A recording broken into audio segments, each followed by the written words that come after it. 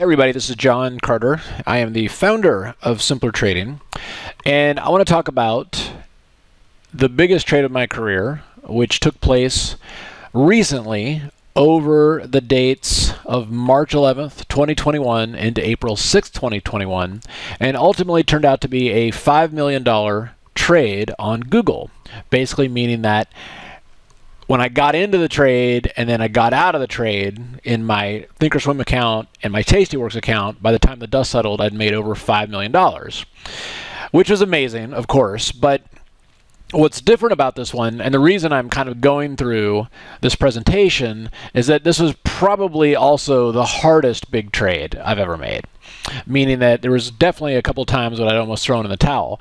Uh, if you guys have followed me for any length of time, you'll know that last year I had uh, a couple of big seven-figure trades on Tesla.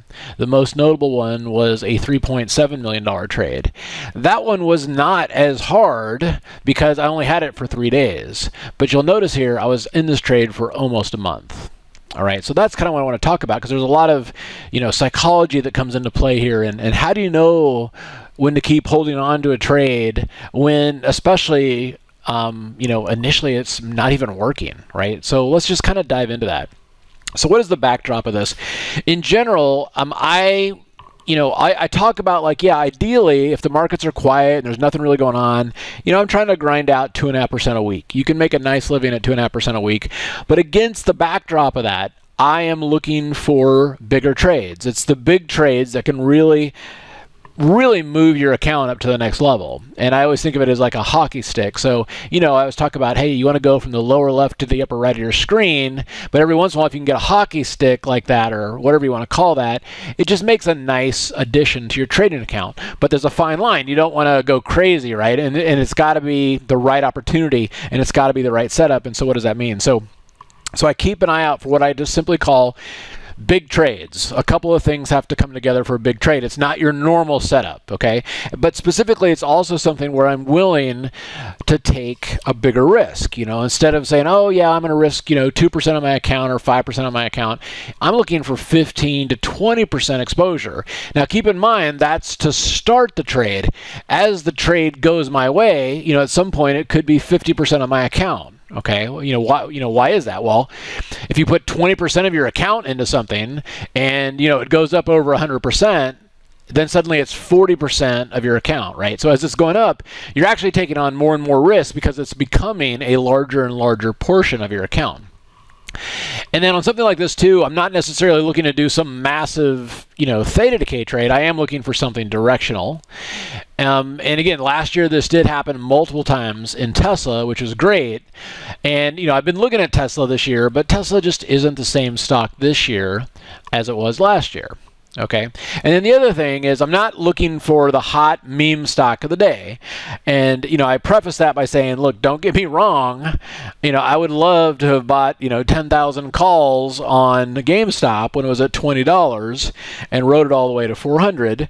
But um, that's not necessarily, you know, I'm not looking for those kind of situations. I'm keeping an eye out for them, but either, you know, that's one of those things where you're in it and you nailed it. That's awesome uh, but it didn't provide a setup that I normally look at, meaning like a daily squeeze, and it just didn't happen for it. So for me, it's all about the setup. And if I'm looking at a big trade, I typically have to have a specific setup on the daily charts uh, that I'm looking for. And I don't really care necessarily what's happening in the news, although I do want to see how the indexes are doing.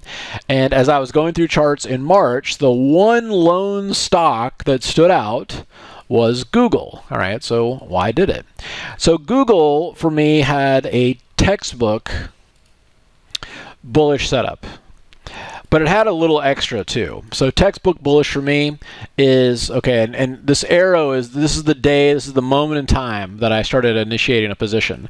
But if we look down here, first of all, there's a squeeze. The squeeze is these red dots. There is also what's these buy arrows here, which I like. You know, it's it, to time, and it's like okay, it must be getting ready to take off.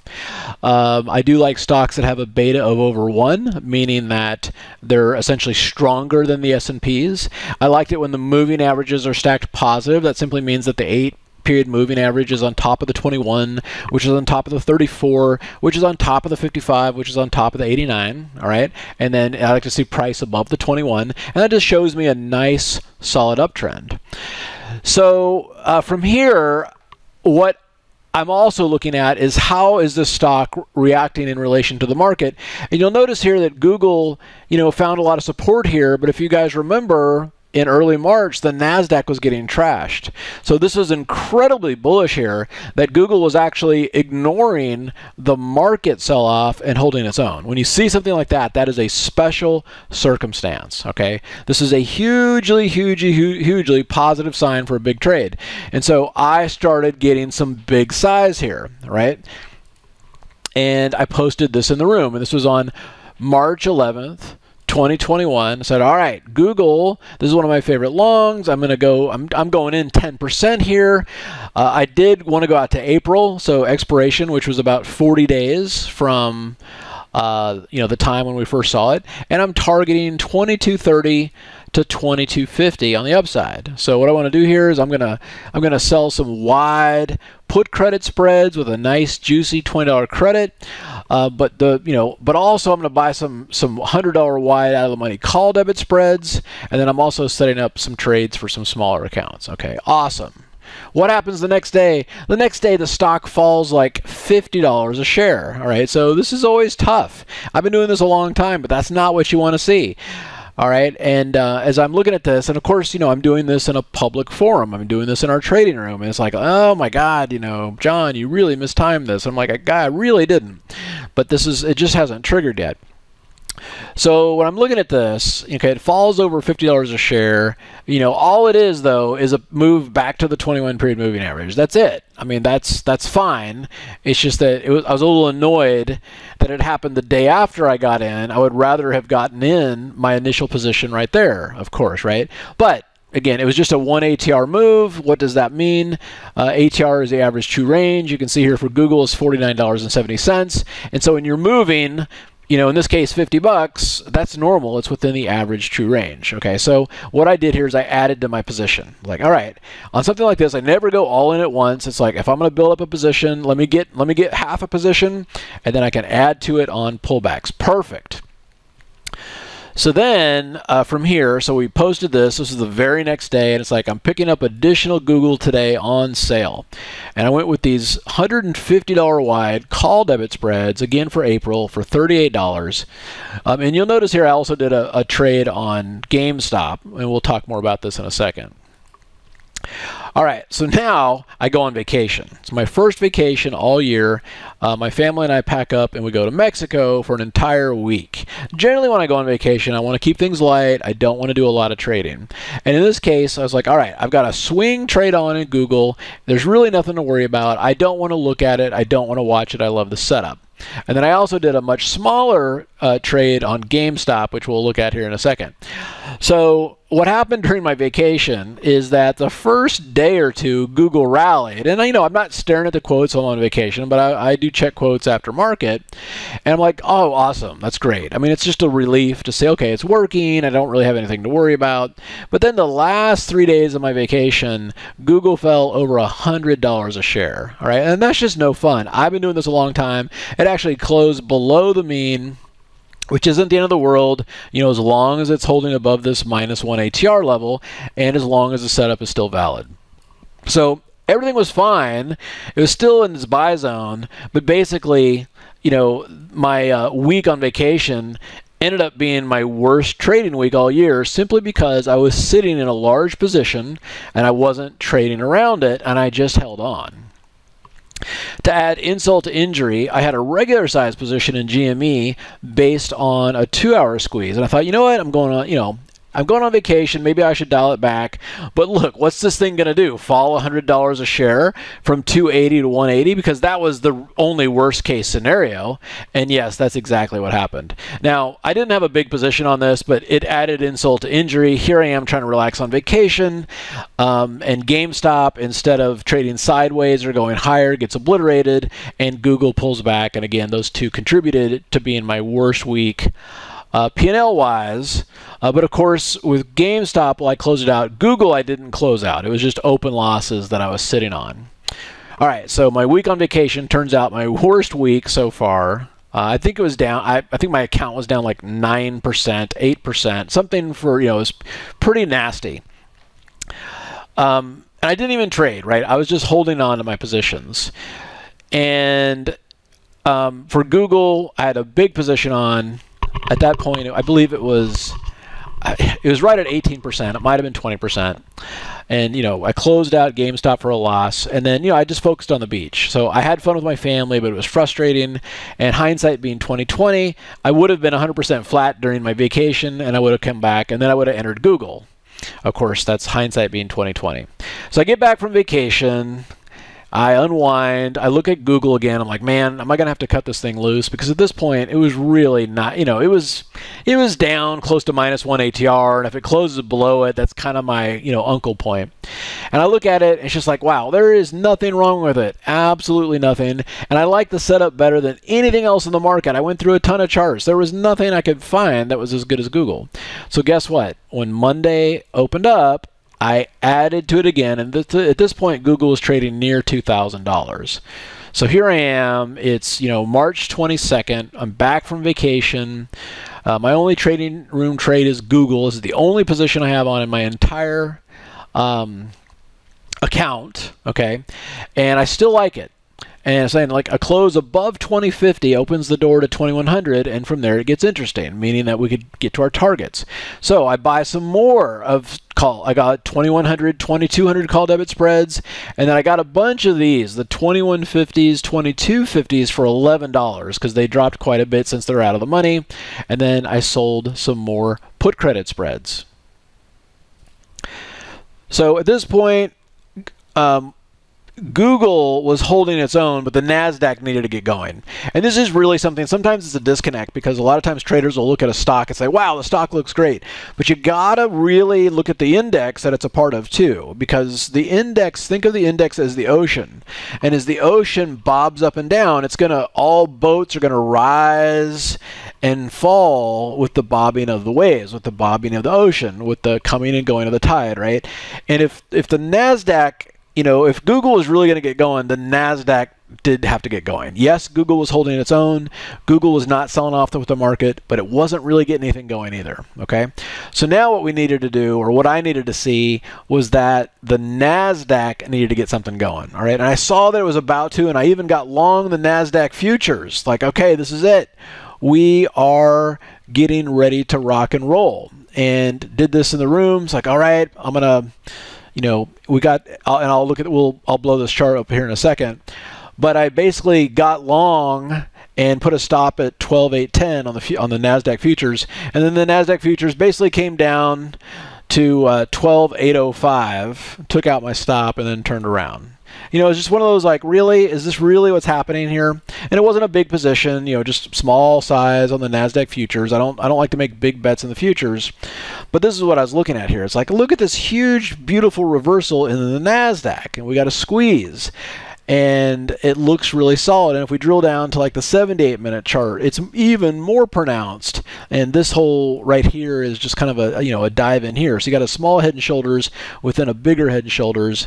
And I mean, if this thing is poised to explode, and it all goes back to you know what? I'm in the right stock. I've got a huge position on. Just stop screwing around with all these other dinky trades and strap in and hold on for the ride. All right, so Google um, you know, we're getting, it's like, all right, Google, you're going to do something. And we've been rallying, you know, we're going, we're going.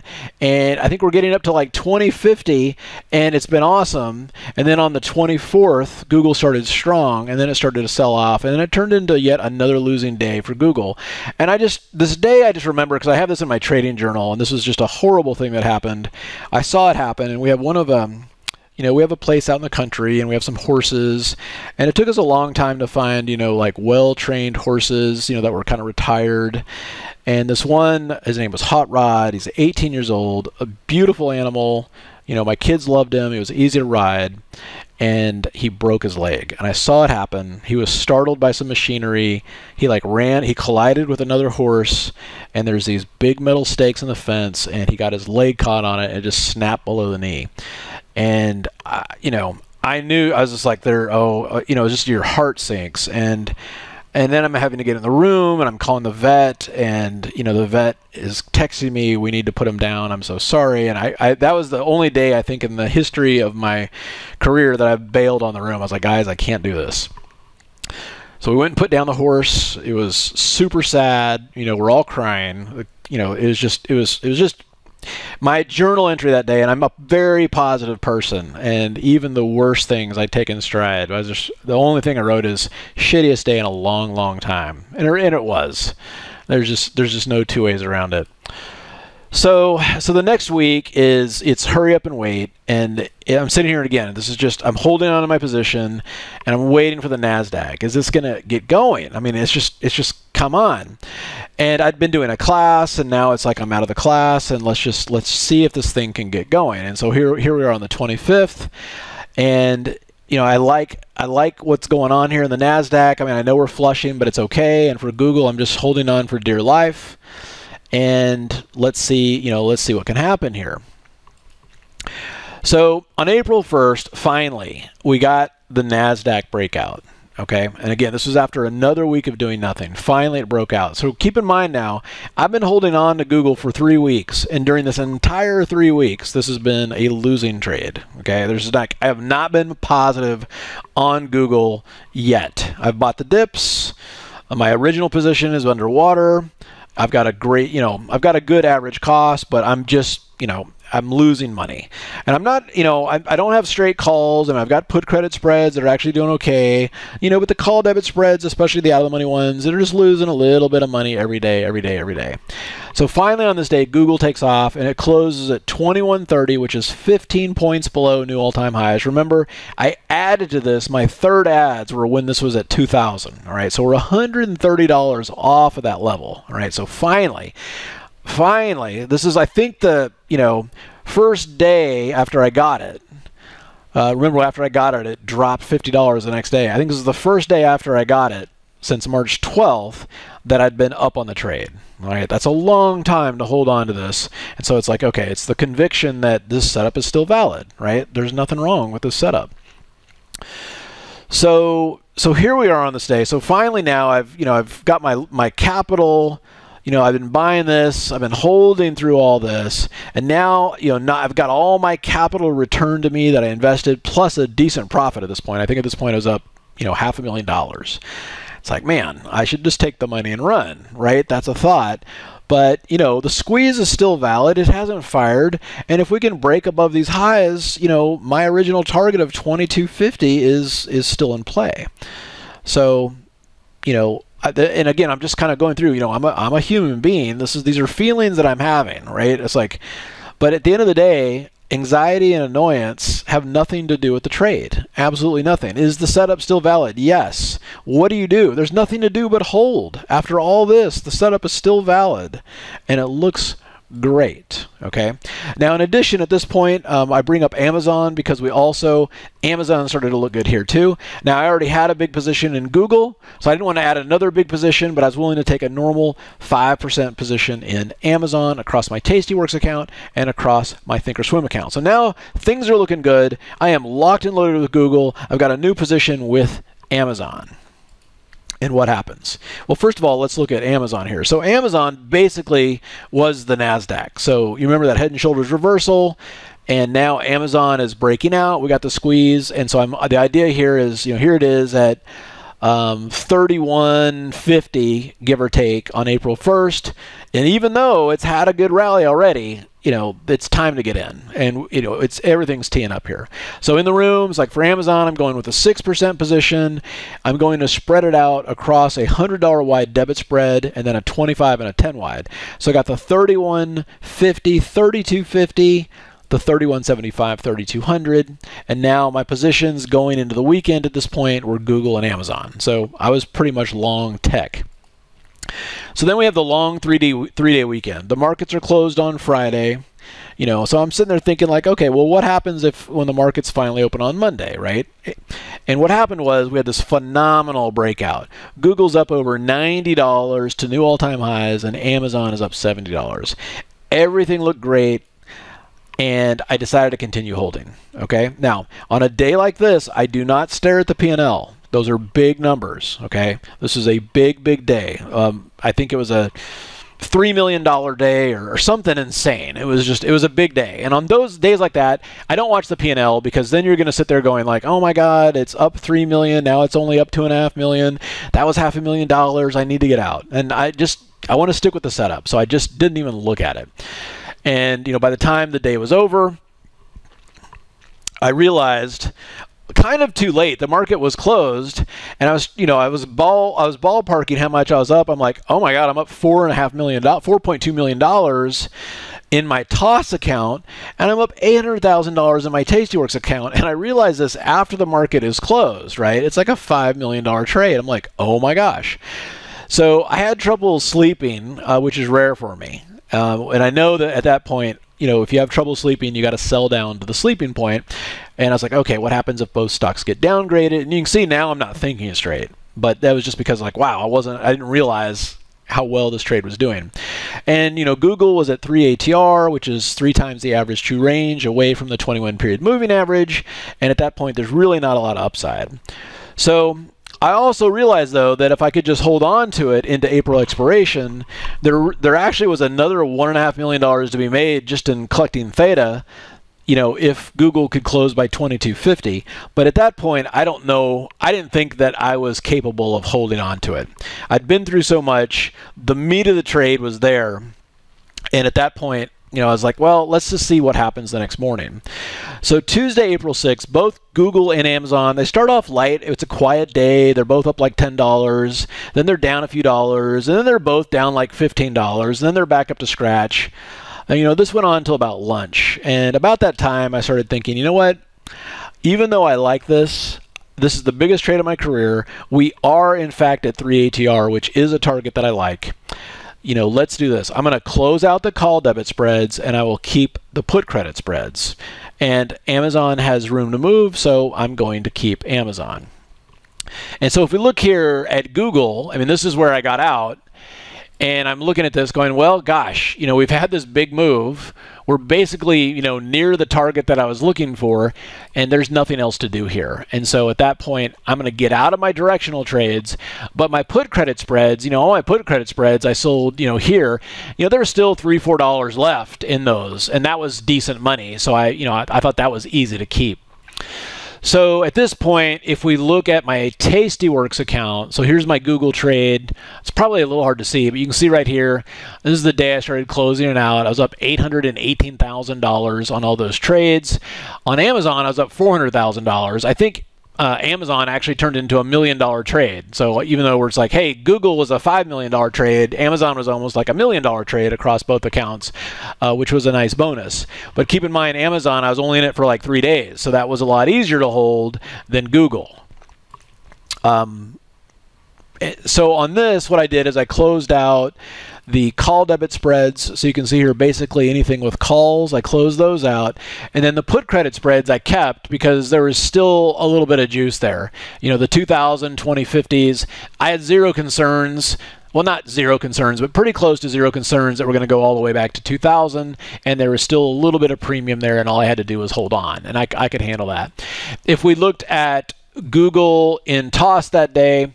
Here, where this is where I got out at 22.17, give or take, and uh, 4.3 million dollars, almost 4.4 million dollars on that. Um, which, which was which was crazy, right? So you can see that the you know like the uh, the put here that I sold at 20 was at 250. So yeah, that's another, you know, that's a that's a that's a, that's another 25. You know, that's that's real money if you're just patient. so I did sit on those.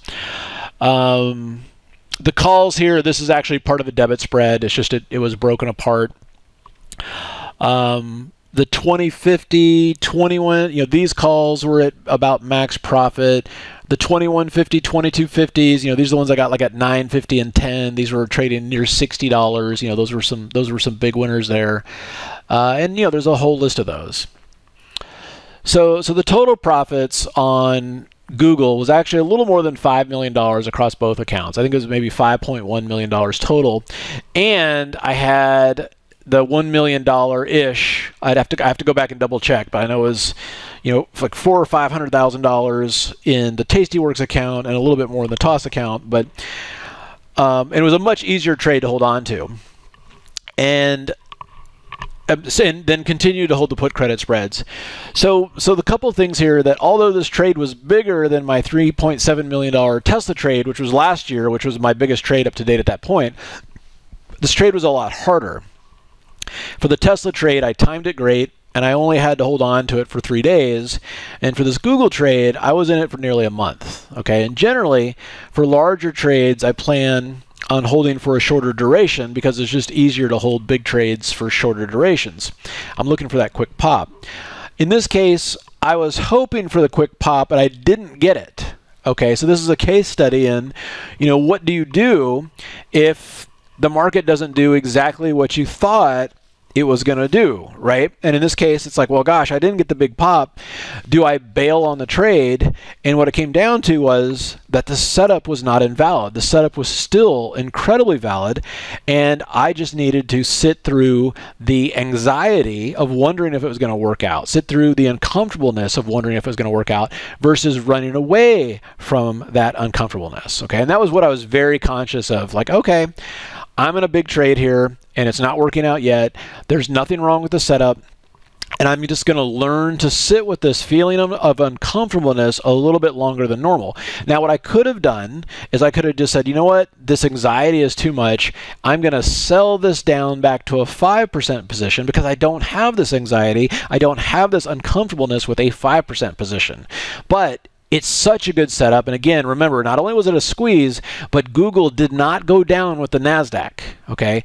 That's that's huge. I can't tell you how important that is. That's like a safety net. It's like, man, if the Nasdaq goes down, Google's going to be okay, and if the Nasdaq turns around, Google's going to explode higher. That's why I did such a big position on this. So when you see these kind of moments in time, you've got to take advantage of them because they don't come around very much. So at the end of the day, the setup itself was never invalidated, and I held on as long as the setup was valid, which as a trader is the best you can hope for you don't want to get tricked by those pesky emotions.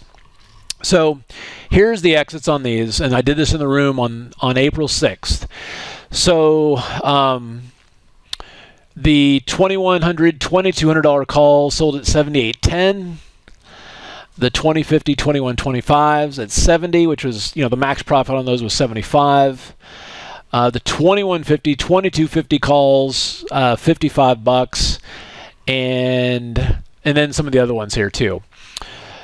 So all in all, just it was it was pretty amazing. So last night, so April 7th, so so on April 6th, I got rid of the directional trades on Google. You know, I booked most of the profits, and what I had left was Amazon, and I had the put credit spreads on Google. So I slept really well this night, and you know, I woke up and I saw that Google's trading around 22.30. So had I held on, I would have immediately made a lot more money. Had I just been able to hold on one more night. But at that point, I was totally fine with it because we did get to the target that I was looking for.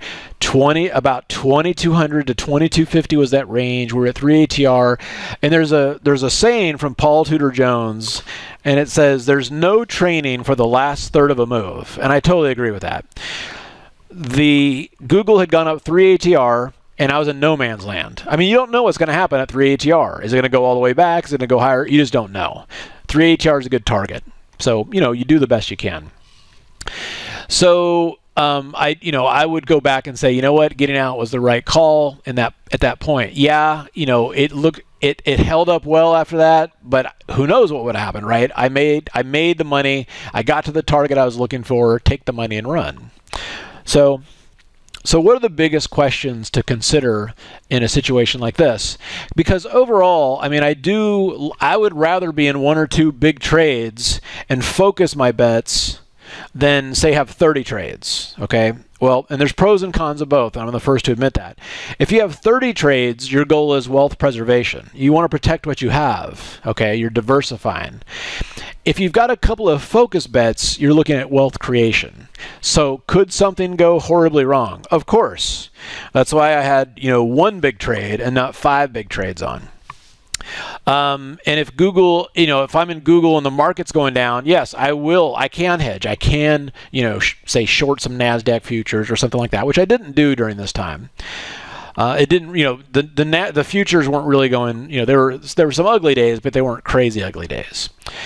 So so the idea with this, in terms of questions and things like that, uh, to consider. And I, I, always, you know, when I'm trading, I always review it. And it's like, I, you know, I ask myself, did I get out too early? You know, did I bail? We were talking in the room today, and someone's like, gosh, you know, I'm always when I my profits are small and my losses are large. All right. And so you want to ask yourself, did you get out too early? And in this trade, I said, no, I did not get out too early. You know, I got out at 3 ATR. I held on into 3 ATR. That's the most, you know, you that's that's great. That's like the most you're ever going to get from a trade. I followed a setup and I didn't get out. And that's really the key with this. If you follow the setup, if you follow your plan, the money tends to take care of itself. And I'm talking through all the emotions just to let you know it's like it happens with everyone. And obviously, you know, the bigger you know the the larger and larger sums of money that you start trading you kind of have to go through this plateau of you know it's i joke that the first time i lost a thousand dollars i threw up but the next time it wasn't so bad. And it's the same thing. It's like my first million dollar trade in 2014 was like oh my god this is amazing. And then by the time i did another one it was like it was still cool but it wasn't as crazy and as amazing as that first time right? And so you're building up your um, fortitude of what's normal. You're expanding your concept of what's normal. And, you know, if you think of it, it's just money, right? It's just another zero. I have a friend of mine, he's a huge trader, like big, big trader. And he jokes with me sometimes. He's like, when are you going to increase your size? It's just another zero. I was like, yeah, yeah okay. Um, but that's how he looks at it. It's just another zero. So just, you know, keep in mind a lot of this is psychology and stuff like this too. Okay, so the next question is, these are questions I ask myself, right? Was it too big of a trade? Did I get emotional? And I would say yes, you know what? It was probably a bit too big in the beginning. I had to pay attention to it during vacation. You know, I in retrospect, I would have just waited to add to it when I got back from vacation. Um, and it was starting to impact my mood the longer I stayed in it. You know, smaller trades don't do this to me. So I would say that did I get, you know, was this trade a little bit too big? And I would say, uh, and I would say, if I'm being honest with myself, yes. Did I hold through the uncomfortableness? Yes. Um, is that going to make me a better trader for the next time I'm in this situation? Yes. Uh, but if I could have done about three quarters of that size, it would have been easier to hold on to. What would I do different? The only thing I would have done different is patient with entries, which means buying closer to the mean. If you guys recall, my first entries were at plus one ATR. So this is the mean Okay, and then this is minus 1 ATR. And I just consider this the buy zone. So the mean is like the 21 period moving average. And then, you know, this is 1 ATR, one average true range away from it to the upside, and one average true range away to it to the downside. And an uptrend, you know, the best buys are at the mean or down here to minus 1 ATR. And my first buy was way up here. So I bought that knowing I'd probably have to hold, you know, you know, I was like, well, maybe it's going to go right now. Had I been more patient and focused my buys down here, that would have been a lot easier. All right. But, you know, you never know. Sometimes things just take off without you, right? But I could have been, in hindsight, a little more patient. But what's the lesson learned in this? The lesson learned in this is that it's really hard to get a perfect entry. But if you've got a good setup, okay, I you know I would rather have sloppy entries and a great setup and hold through you know my jumping the gun than have great entries and a sloppy setup that doesn't even have a chance of working out if that makes sense. So so I don't mind holding through the pain and suffering but I'm always open to the idea of like could we you know could we reduce this pain and suffering a little bit? So what now? As of right now, I'm looking for more big trades. I don't see a big one at the moment, although I'm keeping an eye on Amazon because at this point Google has made new all-time highs and Microsoft has made new all-time highs and Amazon has not. So I think that's the next one. So I'm keeping an eye out for that. Otherwise, I'm looking at what I would just simply call normal 5% setups. And when I see those, I post them in the room, and that's fine for now. Get back to, you know, cranking out that 2.5% a week, sometimes 5% a week, while I'm waiting for that bigger trade to set up. And I always say, like, this is like hunting. You know, you want to be patient and you know you want to be sitting there ready with a loaded gun and when the and I'm not really a hunter but this is the analogy when the elephant comes by you're ready to go but if the elephant comes by and you know you're screwing around in the sand looking for beetles or your gun's not loaded, you're going to miss it. You may not even see it walk by because you weren't even paying attention. And so, you know, you get out of a big trade, you take catch your breath and you get ready for the next setup. And that's what I like to do is I find the setups and then I post them in our trading room. So, if you're not familiar with our trading room, um, there is myself in there and a group of gosh, I think it's 18 of us now and we're all just kind of watching the markets. We're posting our ideas. You know, we're not we're not on the mic all the time because that would drive us insane. Uh, I'll go, I'm, you know, I'm on the mic a couple hours a week and I'm talking what I'm looking at. But when I'm off the mic, I'm, you know, I'm posting and everybody else is posting. It's like, you know, when I was doing my Google trades, I was never on the mic. I was just posting like, "Hey, here's the alert." And if you've got the app, it goes to your phone. You know, it's a push notification. This is what I'm doing. So if you're interested in stuff like this, this is you know we we think this is fun. Um, we've got. Uh, you know, we, we do mostly options in the options room, but we also trade other asset classes. And then we do have a trial and you can see the link down here. And this will set you up to start a trial to our room if you'd like to check it out. So anyway trading's a lot of fun. It's our passion. We do it because we love it. You know you can see from my trading i don't you know i'm not doing it because i have to do it monetarily. We just we like doing it. I think by having to kind of throw out what I'm doing, I've got to, it, it makes me sharp. It's like, it makes me a better trader because I'm like, okay, if I'm going to put this out there, I got to make sure that it's a good setup. And so I like that too. So I think it's a nice symbiotic relationship where uh, having to put out the trades improves my own trading. But then, you know, I've been doing this for 30 years now. And if you're newer and you haven't seen all this crazy stuff that the market does, um, you know, you can, it's a very, you can learn a lot of painful lessons. And we are here and I am here to lessen that, to lessen the pain. You know, there's times to load the boat and go long. There's other times to go short, like this market's done. And there's other times to step aside. There's three positions you can have. You can be long, you can be short, or you can be flat. And knowing when to be flat and knowing when not to do anything is just as important, if not more important, than knowing when to go for the kill. All right. Anyway, hope you guys enjoyed this. It was a fun and crazy trade, and I'm looking forward to doing the next one with you uh, right here in our trading room. Without simpler trading, I could not have financial independence. This is one of the best investments I ever made in my life. It's helping me find consistency. It's one of the things that won me.